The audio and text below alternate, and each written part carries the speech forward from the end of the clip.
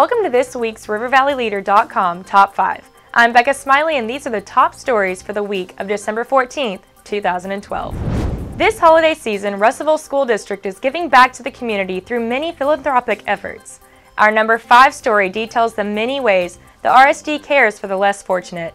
From providing meals for those in need to accepting coats, Christmas gifts, or monetary donations, there are many ways that students and faculty have chosen to show their commitment to caring for their students, families, and communities. Check out the story to find out how you can get involved.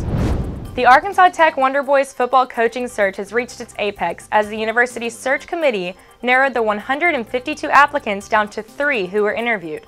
RiverValleyLeader.com was the first to report the names of those prospective coaches in our number four story. David Brown of Missouri S&T, Bo Atterbury of Texas A&M Kingsville, and Raymond Monica of Kutztown University in Pennsylvania made their pitch to become the Wonder Boys' new head man, and a decision is expected in the next few days.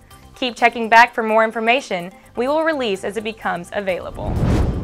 At number 3, a tragic horseback riding accident claimed the life of an Atkins woman Sunday, December 9th.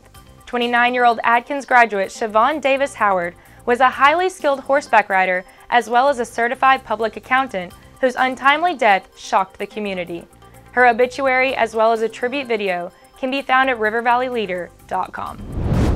Coming in at number 2, Millard Henry Clinic broke ground at 12:12 p.m. on 12-12-12 on its new facility. The clinic expansion is expected to double the current space available for treating patients. Executive Director Rodney Haynes said he is, quote, very excited to bring this new facility to Russellville. It will bring better health care to residents and better health to its economy too.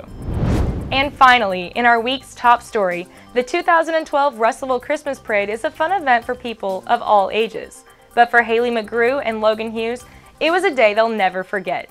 Haley showed up to the parade expecting to support her boyfriend Logan as his OEM Dive and Rescue Squad showed off a float. What she got was a fiance. Logan and Haley, who have dated for a year and two months, were ecstatic in the moments after the public proposal, but Logan was glad to finally pop the question. I was so nervous beforehand, he said. I was mostly nervous about doing it in front of everyone watching, but not nervous about asking her. We'll leave you with video from the proposal, which you can find online with this and many more stories at rivervalleyleader.com.